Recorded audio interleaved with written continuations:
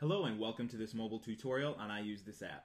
Today we'll be covering how to change your default search provider inside of Safari on the iPhone. So I'll start out by opening up Safari. And you can see here in the upper right hand corner it says Google. That's our default search provider right now. So for example, if we typed there and we hit search, we would pull up Google search results. So to change that, all we have to do is simply hit the home button.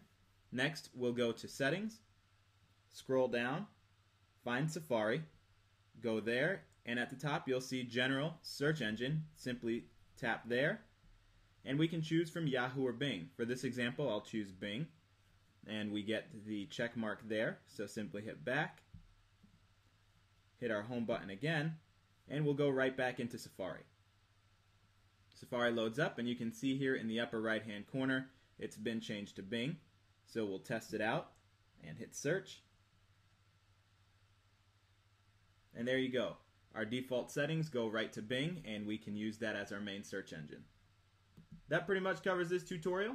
As always, thanks for watching. Be sure to like, comment, and subscribe on all our videos, and we'll see you in the next tutorial.